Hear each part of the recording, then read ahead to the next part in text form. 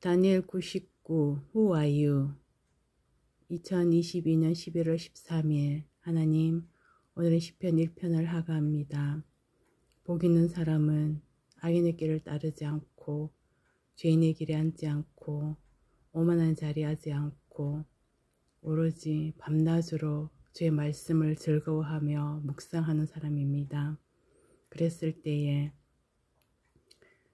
시간에 따라 계절에 따라 열매를 맺으며 또 하나님께서 인정하는 삶을 살아갈 수 있습니다. 하나님, 저 자신을 돌아봅니다.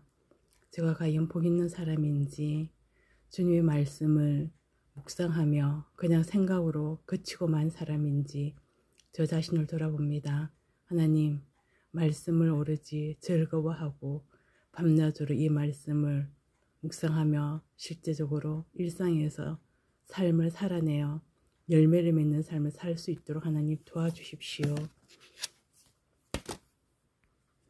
나 완전 순종은 능력이 있고 품위가 있고 미래를 걱정하지 않는 복된 삶, 복된 자임을 선포합니다.